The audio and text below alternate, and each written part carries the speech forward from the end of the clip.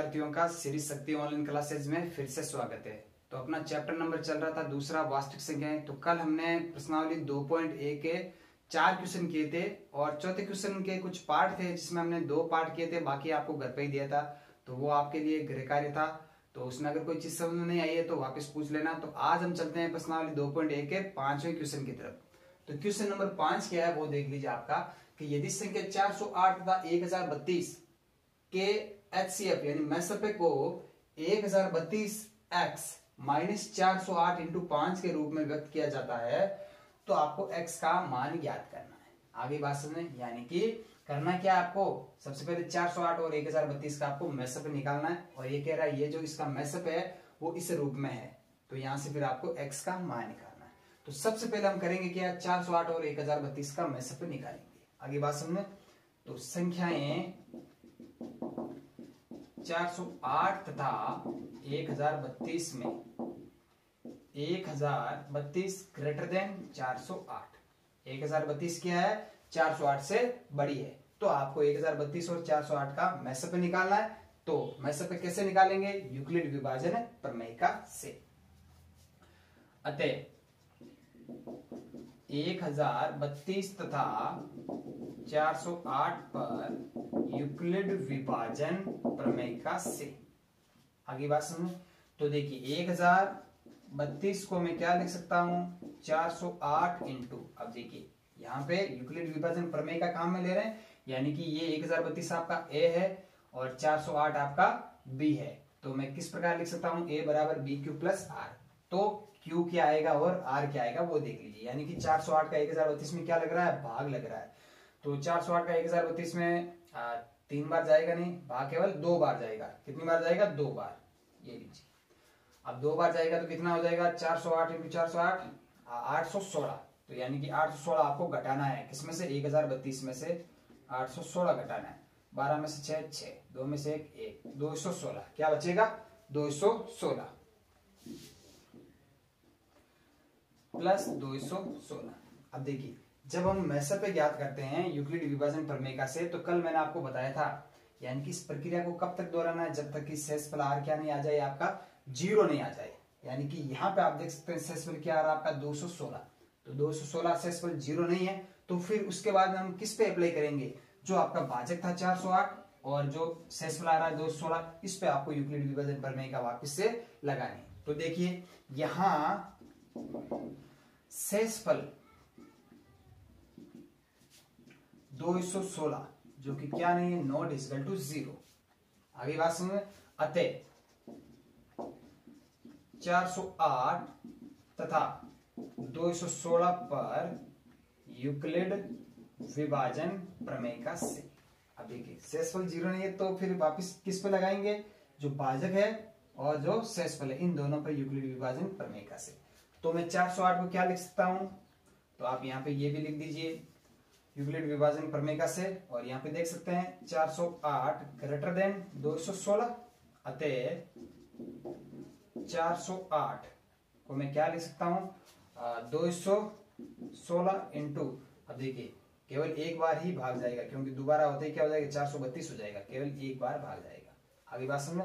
अब 408 में से आपको क्या निकालना है? 216 निकालना है तो कितना बचेगा? दो। और यहाँ पे हो जाएगा आपका दस में से एक, नौ। और ये हो जाएगा आपका एक। एक सौ बानवे। छह दो आठ, नौ दस शून्य। एक सौ बानवे प्लस एक सौ बानवे। यानी कि 408 और 216 पर हमने यूक्लिड विभाजन प्रमेय का काम में ली। यानी कि 216 का जब 408 में भाग दिया तो भाग पलाया एक और शेष पलाया आपका एक सौ बानवे। यहाँ फिर से क्या नहीं हो रहा है? शेष पर ज़ीरो नहीं है। तो फिर से ये प्रक्रिया चलती रहेगी। यानी कि भाजक दो सौ सोलह और फिर सेसफल आर पे चलती रहेगी। और आपको पता है जो भाजक होता है, वो हमेशा क्या होता है? सेसफल से बड़ा होता है। अगली बात सुन तो इस भाजक को हम ए लेंगे और सेसफल को हम बी लेके यूक्लिड विभाजन प्रमेय को चलाते रहेंगे। तो यहाँ पे लिखिए, यहाँ सेसफल दो सौ सॉरी एक सौ बानवे नॉट इजकल टू ज़ीरो तो अब क्या करेंगे हम? अतः दो सौ सोलह तथा किस पे एक सौ बानवे व यूक्लिड विभाजन प्रमेय का से। तो देख सकते हैं यहाँ पे 216 ग्रेटर देन एक सौ बानवे। तो 216 को मैं क्या लिख सकता हूँ? एक सौ बानवे इंटू वन यानी एक सौ बानवे का 216 में भाग क्या होगा? एक बार जाएगा। पर कितना बचेगा? इधर से आठ, इधर से सोलह। सोलह और आठ चौबीस। कितना बचेगा? चौबीस। अब फिर से शेष पर नॉट इजकल टू ज़ीरो तो एक सौ बानवे और चौबीस पे फिर आपको लगानी है यूक्लिड विभाजन प्रमेय का। यहाँ शेष फल क्या है? चौबीस नॉट इजकल टू ज़ीरो शेष फल ज़ीरो नहीं है। अतः एक सौ बानवे तथा चौबीस पर यूक्लिड विभाजन प्रमेय का सी तो देख सकते हैं, एक सौ बानवे ग्रेटर देन चौबीस। तो एक सौ बानवे को मैं क्या लिख सकता हूँ? चौबीस इंटू अब देखिए, चौबीस का भाग आपको एक सौ बानवे में देना है। तो कितनी बार जाएगा देख लीजिए, आठ दूनी सोलह, आठ सौ बत्तीस। आठ बार जाएगा। कितनी बार जाएगा? आठ बार। प्लस ज़ीरो, देखिए।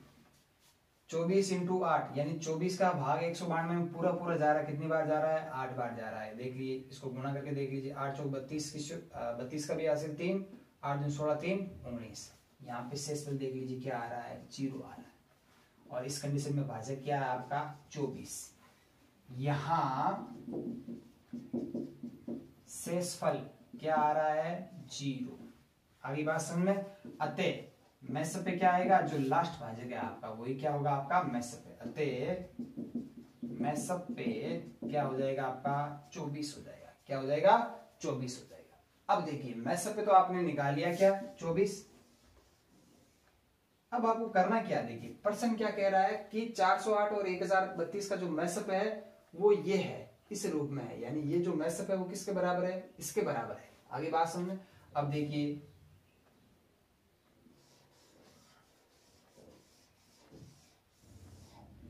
अब प्रश्नानुसार।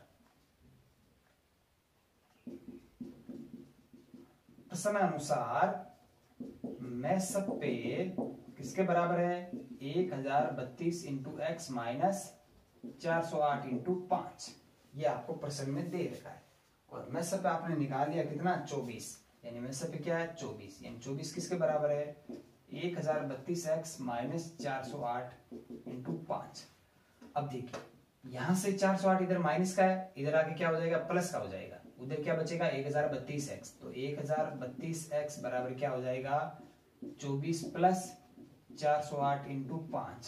तो एक हज़ार बत्तीस एक्स बराबर क्या हो जाएगा? चौबीस प्लस ये हो गया आठ पंजे चालीस और पाँच सौ बीस, दो हज़ार चालीस। तो यहाँ से एक हज़ार बत्तीस एक्स बराबर क्या हो जाएगा? चौबीस जोड़ दीजिए इसमें तो दो हज़ार चार छ चौसठ। तो यहाँ से x बराबर क्या हो जाएगा? दो हज़ार चौसठ बट्टा एक हज़ार बत्तीस। कितना आ जाएगा?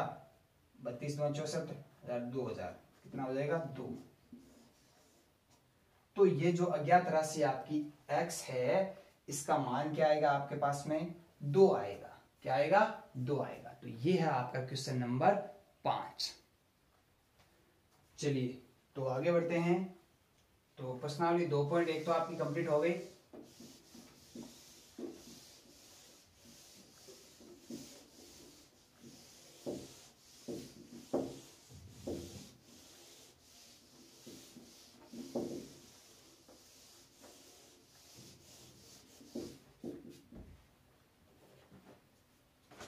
अब देखिए, अगला टॉपिक क्या है आपका प्रश्नावली दो पॉइंट दो के लिए देखिए।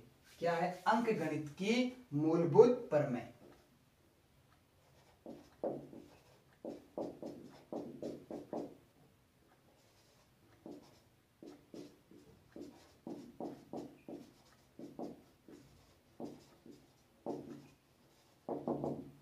अब देखिए, अगला जो अपना टॉपिक है वो है अंक गणित की मूलभूत प्रमेय। अब देखिए, यहाँ पे हम करेंगे संख्याओं के गुणनखंड करेंगे। क्या करेंगे? गुणनखंड। आपको पता है संख्याएँ दो प्रकार की होती है। बाज्य संख्याएँ और अबाज्य संख्याएँ। बाज्य संख्याएँ और अबाज्य संख्याएँ। अब आपको पता है बाज्य संख्याएँ तो क्या होती है? और अबाज्य संख्याएँ, आपको पता है क्या होती है कि अबाज्य संख्याएँ जिसमें वन और स्वयं अभाज्य संख्या क्या होती है? कि जिसमें वन और वह संख्या जो खुद है स्वयं, उन दोनों के अलावा किसी का भी भाग नहीं जाता है। वो क्या कहलाती है आपकी? अभाज्य संख्या कहलाती है। और भाज्य संख्या तो आपको पता ही है, उसमें किसी का भी भाग जा सकता है, यानी उसके टुकड़े भी हो सकते हैं, गुणनखंड भी हो सकते हैं। तो आपकी जो ये अंकगणित की मूलभूत प्रमेय है, ये क्या कहती है? ये कहती है कि कोई भी भाज्य संख्या है, कोई भी भाज्य संख्या है, उसको आप अभाज्य संख्याओं के गुणनखंड के रूप में लिख सकते हो। अभाज्य संख्याओं के गुणनखंड के रूप में लिख सकते हो। और यह गुणनखंड अभाज्य संख्याओं के जो अभाज्य गुणनखंड है, वो बिना क्रम के एदित्य रूप से, यानी कि इसमें क्रम का जो है, वो महत्व नहीं है। सिंपली जैसे मैं आपको बताता हूँ, जैसे आप कह रहे हो कि पंद्रह है आपका। आगे बात तो पंद्रह, ये क्या है? आपकी भाज्य संख्या है, क्योंकि ये तीन से भी भाजित है, पाँच से भी भाजित है, वन से है, पंद्रह से है।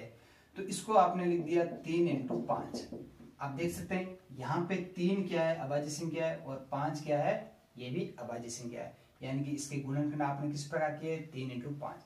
अब देखिए, पंद्रह का ही गुणनखंड में क्या कर सकता हूँ? पाँच इंटू तीन। क्या कर सकता हूँ? पाँच इंटू तीन। आगे बात लेकिन दोनों ही कंडीशन में ये चीज़ क्या यूनिक है, अद्वितीय यानी कि इन गुणनखंडों में आपका कर्म का कोई महत्व नहीं होता है। यानी आपको कर्म को इग्नोर कर देना है तो ये जो गुणनखंड होगा वो अद्वितीय होगा। यानी कोई भी भाज्य संख्या का गुणनखंड अभाज्य संख्याओं के गुणनखंड के रूप में द्वितीय होता है, जबकि आपको कर्म को इग्नोर कर देना। ऐसा नहीं कि तीन इंटू पाँच किया, वो अलग है, पाँच इंटू तीन अलग नहीं। तीन इंटू पाँच या पाँच इंटू तीन, वो क्या है? सेम ही चीज़ है। आगे बात जब कर्म को इग्नोर कर देते हैं तो कोई भी भाज्य संख्या को आप अद्वितीय रूप से, कोई भी भाज्य संख्या को आप अद्वितीय रूप से अभाज्य संख्याओं के गुणनखंडों के रूप में व्यक्त कर सकते हो। आगे बात समझ, यानी कि जो भाज्य संख्या है, उसके जो गुणनखंड होंगे तो जितने गुणनखंड टुकड़े होंगे, वो सारे की सारी क्या होगी? अभाज्य संख्याओं के रूप में इसके टुकड़े होंगे। तो अब देखिए, इसकी डेफिनेशन लिख लेते हैं। तो एक चीज़ ध्यान रखनी है, कर्म को इसमें क्या कर देना आपको? इग्नोर कर देना। कर्म को जब इग्नोर कर देते हैं तो कोई भी जो भाज्य संख्या होगी, वो अद्वितीय रूप से अभाज्य संख्याओं के गुणनखंड के रूप में व्यक्त की जा सकती है। आगे बात समझे? तो लिख लीजिए यहाँ पर।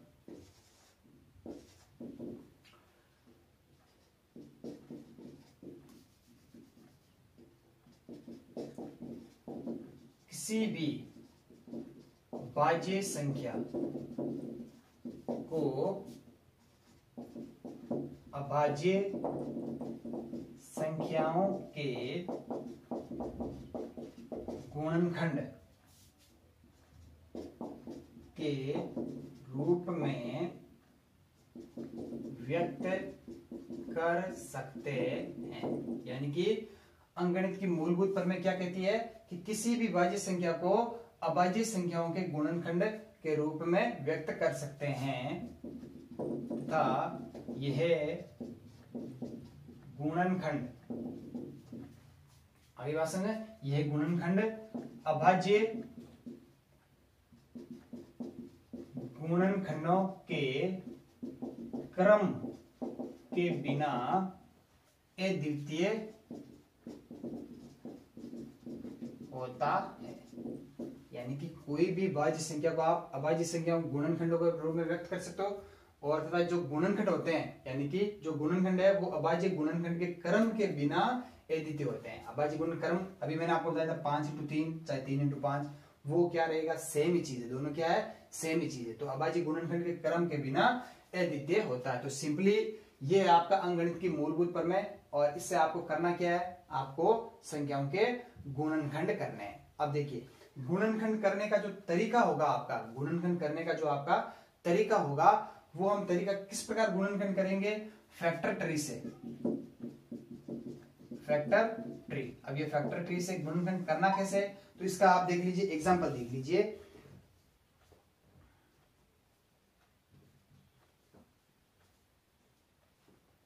तो इक्यासी नब्बे, इसका एग्जांपल देख लीजिए, इक्यासी नब्बे। तो एक संख्या आपकी, इक्यासी नब्बे। आगे बात समझ तो सबसे पहले इसको गोले के अंदर क्या कर देना है? व्यक्त कर देना किसमें व्यक्त कर देना गोले के अंदर अब आपको करना क्या है? इसके गुणनखंड करने आगे बात समझ तो गुणनखंड करेंगे कैसे? ये दो से क्या हो रहा है? भाजित हो रहा है। किससे भाजित हो रहा है ये? दो से भाजित हो रहा है। किससे? दो से। आगे बात समझ तो ये एक दो टुकड़ा आपका आ गया। अब देखिए, दो से भाजित हो गया तो फिर बचेगा क्या? चार। और फिर ज़ीरो। और फिर नौ। और फिर पाँच। आगे बात समझ अब देखिए, अब ये किससे पाँच से होगा? किससे होगा ये? पाँच से। तो पाँच से कर लीजिए तो क्या आएगा आपका? देख लीजिए। आठ पंजा, चालीस। आगे बात समझ फिर एक, फिर नौ। नौ पंजा, पैंतालीस। आगे बात समझ अब देखिए, अब इसको मैं और किससे कर सकता हूँ? तो यहाँ पे ये हो जाएगा अब तीन से देख लीजिए।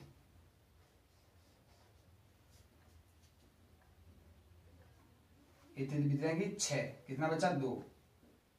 सात तेरी इक्कीस। कितना बचा? ज़ीरो। और नौ, तीन तेरी की नौ। आगे बात समझ में? अब फिर से ये तीन से हो रहा है।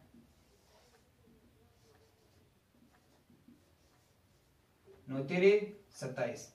और एक। आगे बात समझ अब ये और किससे हो रहा है? सात से? तो देख लीजिए सात से क्या हो रहा है। साधुनी एक, क्या बचा दो? सात तेरी इक्कीस। आगे बात समझे और फाइनली आपका ये क्या आ जाएगा? तेरह से हो रहा है। यहाँ पे क्या बच जाएगा आपका? वन। क्या बच जाएगा? वन। आप चाहो तो इसको यहीं तक भी रख सकते हो, तेरह तक। तो फिर गुणनखंड कौन कौन से हो गए? दो, पाँच, तीन तीन, सात, तेरह और वन वन को तो लिखने की कोई आवश्यकता नहीं होती। तो इक्यासी नब्बे के अभाज्य गुणनखंड तो इक्यासी नब्बे को आप क्या लिख सकते हो? दो इंटू पाँच इंटू तीन इंटू तीन इंटू सात इंटू तेरह।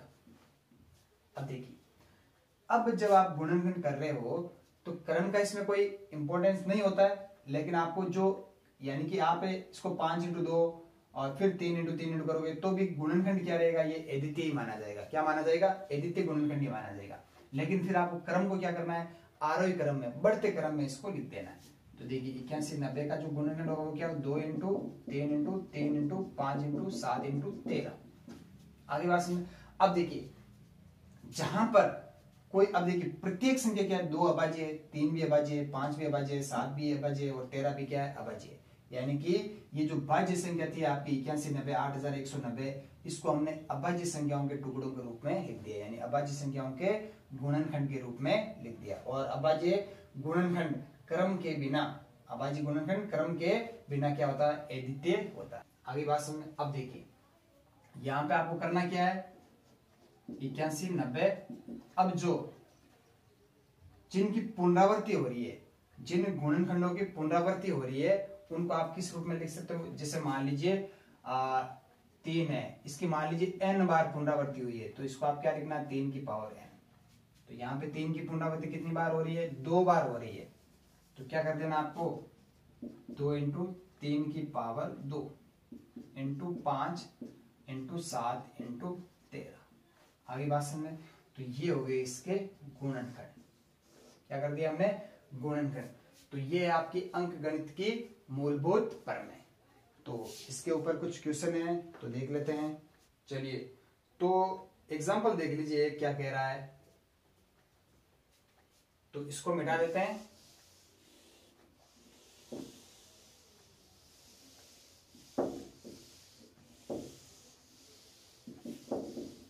देखिए, एक एग्ज़ाम्पल है आपका, वो देख लीजिए क्या है।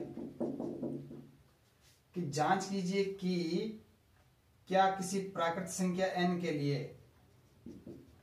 प्राकृत संख्या एन के लिए संख्या सिक्स की पावर n अंक शून्य पर समाप्त हो सकती है।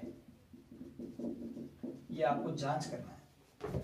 क्या कह रहा है कि प्राकृत संख्या n के लिए, n क्या है? प्राकृत संख्या। प्राकृत संख्या क्या होती है? वन से लेके इन्फाइनेट तो प्राकृत संख्या n के लिए ये जो संख्या छ की पावर n, क्या ये संख्या छ की पावर n अंक शून्य पर समाप्त हो सकती है? अब देखिए। तो देखिए आंसर इसका। आपके पास में क्या है? छ की पावर n है। अब n का मान कुछ भी ले सकते हैं, क्योंकि n क्या है? प्राकृत संख्या ये कह रहा है प्राकृत संख्या n के लिए n one two three four five six seven कुछ भी। आगे बात सुन वन से लेके इनफाइनाइट तक कुछ भी ले लीजिए। तो क्या मतलब ऐसा हो सकता है कि छ की पावर n अंक शून्य पर समाप्त हो? यानी कि जैसे मैं आपसे कहूँ एन का मान क्या ले लिया? चार ले लिया। आगे बात सुने।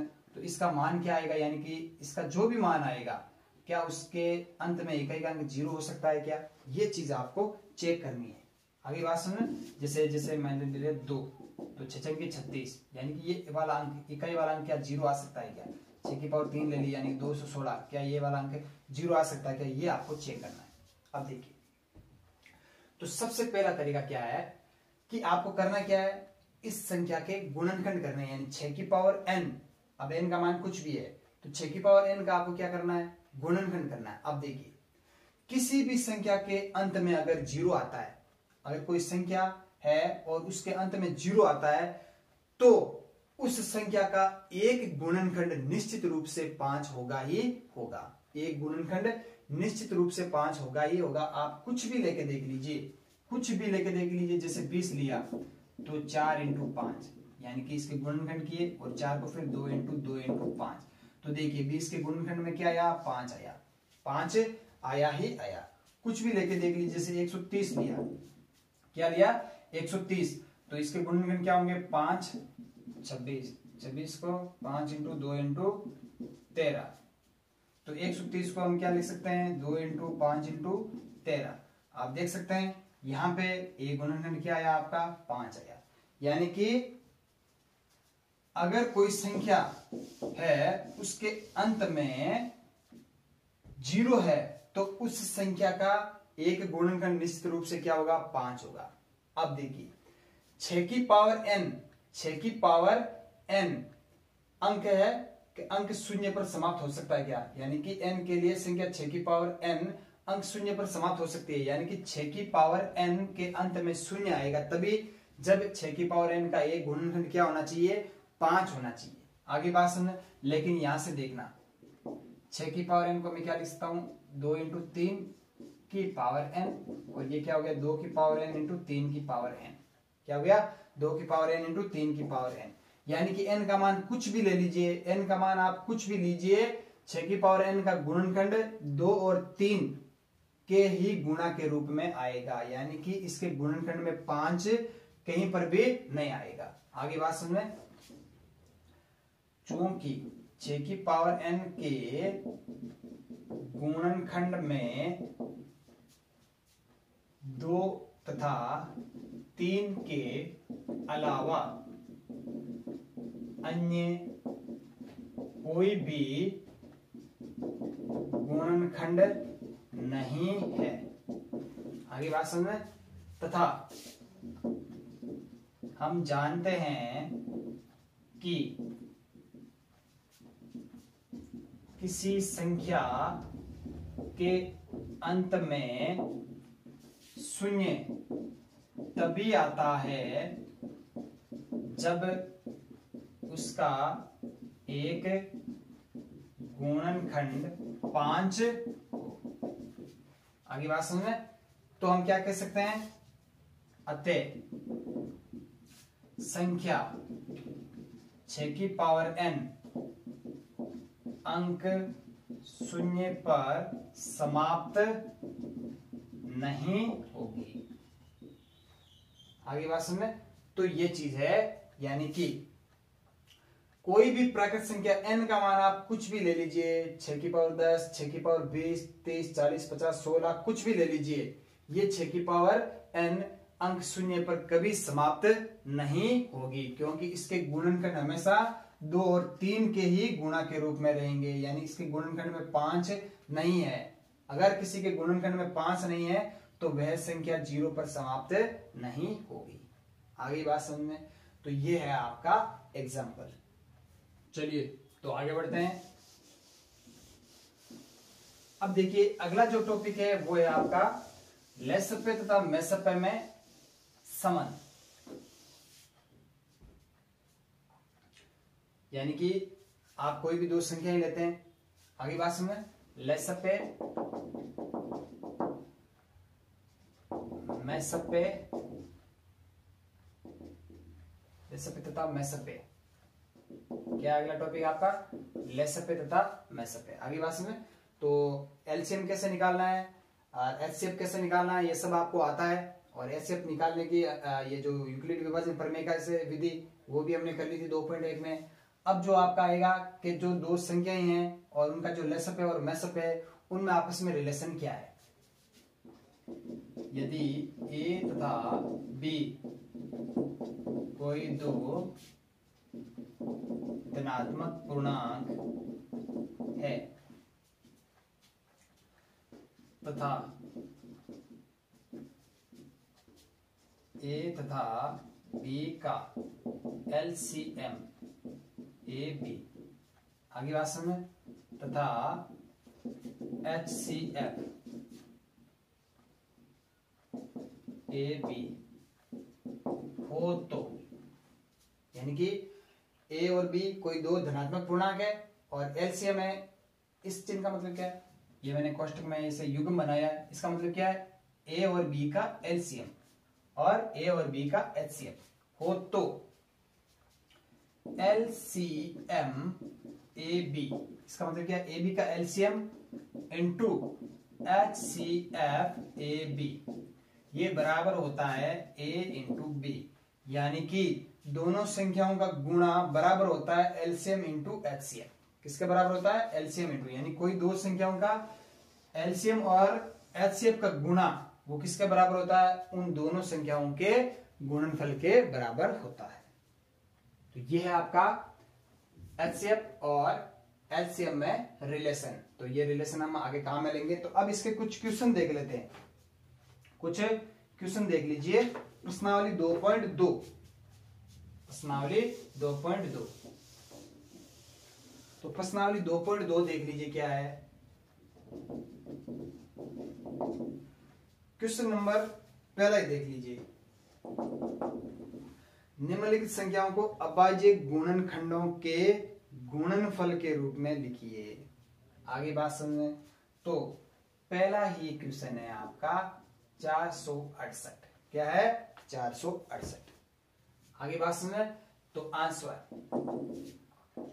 चार सौ अड़सठ का गुणनखंड वृक्ष निम्न प्रकार होगा। अब क्या करना है आपको? गुणनखंड करना है, गुणनखंड वृक्ष से करना है। आगे बात समझ तो सबसे पहले क्या लिखेंगे? चार सौ अड़सठ। इस गोले के अंदर। आगे बात समझ अब देखिए, चार सौ अड़सठ सबसे पहले किससे बाजित हो रहा है? दो से। उसको लिखिए यहाँ दो से जब बाजित होगा तो आएगा क्या? दो दूनी चार, तीन दूनी छ चार दूनी आठ। अब ये फिर किससे हो रहा है? दो से बाजित हो रहा है। दो से बाजित होके फिर आएगा क्या? एक एक, सात दूनी चौदह। आगे बात समझे? अब ध्यान से देख लीजिए। एक सौ सत्रह किससे विभाजित हो रहा है, वो देख लीजिए। दो से तो नहीं होगा। तीन से? तो तीन से देख लीजिए क्या हो रहा है। तीन तरीके नौ। तीन बार गया, नौ, दो, ग्यारह, सत्ताईस, नौ तेरी, सत्ताईस। अब ये उनचालीस किससे विभाजित हो रहा है? तीन से। कितनी बार होगा? तेरती उनचालीस। अब आप चाहो तो तेरह से विभाजित करके वन लेके आ सकते हो, नहीं तो यहीं तक छोड़ दीजिए। आगे बात समझ अतः। अतः चार सौ अड़सठ का अबाजे या इसको ऐसे लिख दीजिए चार सौ अड़सठ के अबाजे गुणन खंड। चार सौ अड़सठ, क्या लिख सकते हो आप? दो इंटू दो इंटू, तीन इंटू तीन इंटू तेरह। अब देखिए, अगर पुनरावृत्ति हो रही है, कोई भी अबाज सिंह जैसे दो अबाज सिंह पुनरावृत्ति हो रही है तो उसको किसके रूप में लिख सकते हैं? दो की पावर एन के रूप में। कितनी बार हो रही है? एन का मान वो लिख दीजिए, यानी दस बार हो रही है तो टू की पावर दस और दो बार है तो दो की पावर दो। तो चार सौ अड़सठ क्या हो जाएगा? दो की पावर दो इंटू तीन की पावर दो इंटू तेरह। आगे बात समझ? तो ये हो गया आपका चार सौ अड़सठ का अभाज्य गुणनखंड। तो क्वेश्चन नंबर पाँच देख लेते हैं। पांचवा क्या है? बीस हज़ार पाँच सौ सितर बीस हज़ार पाँच सौ सितर अब आंसर देख लीजिए। बीस हज़ार पाँच सौ सितर का गुणनखंड वृक्ष फैक्टर ट्री। बीस हज़ार पाँच सौ सितर का गुणनखंड वृक्ष। तो ये लीजिए बीस हज़ार पाँच सौ सितर अब देखिए, दो से हो रहा है सबसे पहले, दो से कर दीजिए। तो दो से कितनी बार होगा? एक और फिर ज़ीरो। दो दुनी, चार, आठ दूनी, सोलह, पाँच दूनी, दस। अब पाँच से हो रहा है तो पाँच से कर दीजिए। पाँच दूनी, दस। आगे बात सुने। फिर ज़ीरो। और फिर पाँच उड़ी पच्चीस। कितना बचेगा? तीन, सात पंजा पैंतीस। अब देखिए, दो हज़ार सत्तावन में किसका भाग जाएगा? देख लीजिए, जैसे दो का तो भाग जाएगा नहीं। तीन का छत्री अठारह, चौबीस, एक, सत्रह, फिर तीन का भी नहीं जाएगा, चार का जाएगा नहीं, पाँच का भी नहीं जाएगा छ सात सात का भी नहीं जा रहा है, आठ, नौ नौ दूनी अठारह, सत्ताईस, नौ का भी नहीं जा रहा है दस का जाएगा, ग्यारह का देख लीजिए, ग्यारह कितना बचा? नौ, ग्यारह अठासी अठासी और सात, सब ग्यारह, सात सत्तर ग्यारह का जा रहा है अभी। तो यहाँ पे किसका भाग दे दीजिए आप? ग्यारह ग्यारह भी क्या है? राज्य संगीत है। अब देखिए, ग्यारह का ग्यारह, एक। कितना बचा? नौ। तो ग्यारह, आठ अट्ठासी अट्ठासी और सात, पिचानवे। तो सात, ग्यारह, सात, सतहत्तर। आगे बात समझ में अब इसमें ग्यारह का भाग, ग्यारह एक सात फिर से ग्यारह का ही जा रहा है। तो ग्यारह का दे दीजिए। ग्यारह का एक। और कितना बचा? सात। ग्यारह सात सतहत्तर। तो अब सत्रह में, सत्रह खुद के आ गया अभाज्य आ गया तो उसको वहीं पे छोड़ दीजिए। तो अतः बीस हज़ार पाँच सौ सितर के अबाजे गुणनखंड क्या हो जाएँगे? बीस हज़ार पाँच सौ सितर को आप क्या लिख सकते हो? दो इंटू पाँच इंटू ग्यारह इंटू ग्यारह इंटू सत्रह। क्या लिख दो? दो इंटू पाँच इंटू ग्यारह का स्क्वायर इंटू सत्रह। देख लीजिए। अभाज्य गुणनखंड के रूप में लिख दिया। देखिए, दो अभाज्य, पाँच अभाज्य, ग्यारह अभाज्य और सत्रह भी अभाज्य। तो ये है आपका क्वेश्चन नंबर पहला का पांचवा। तो आज की क्लास में इतना ही पढ़ेंगे। कल की क्लास में प्रश्नावली 2.2 के जो बाकी क्वेश्चन है, वो कल की क्लास में देखेंगे। तो अधिक से अधिक यूट्यूब चैनल को शेयर कीजिए सब्सक्राइब कीजिए, कोई चीज़ समझ में आए तो वापिस पूछिए। आज के लिए इतना ही। धन्यवाद।